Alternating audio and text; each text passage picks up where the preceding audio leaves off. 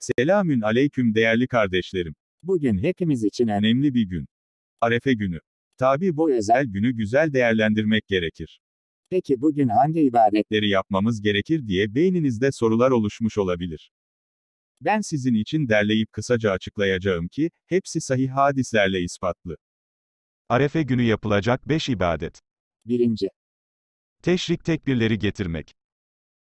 Arefe günü sabah namazından, Kurban Bayramı'nın dördüncü günü ikindi namazına kadar, erkek kadın herkes, cemaatle kılsın, yalnız kılsın, 23 vakit farz namazda selam verir vermez, bir kere, vacip olan teşrik tekbirini söylemeli, yani, Allahu Ekber, Allahu Ekber.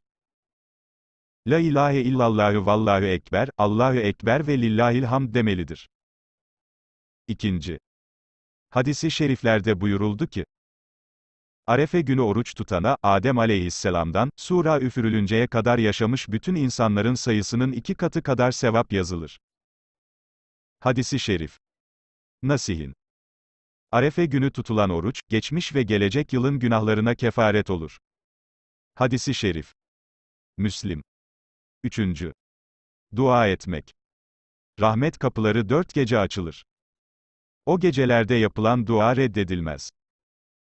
Ramazan ve Kurban Bayramı'nın birinci geceleri, Berat ve Arefe gecesi. Hadisi şerif. İsfehani. Duanın faziletlisi, Arefe günü yapılanıdır. Hadisi şerif. Beyheki. Dördüncü.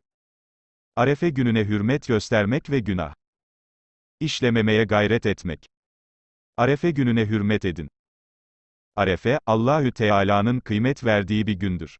Hadisi şerif. Deylemi. Arefe günü, kulağına, gözüne ve diline sahip olan mağfiret olur. Hadisi şerif. Taberani. 5. Bin adet İhlas suresi okumak. Kim ki, Arefe gününde bin kere. Kul huvallahu ehad. Suresini okursa, Allahu Teala ona istediğini verecektir. Hadisi şerif. Münavi, Feyzül Kadir. Daha etraflı açıklamalara göz atabilirsiniz. Allah şimdiden kabul eylesin.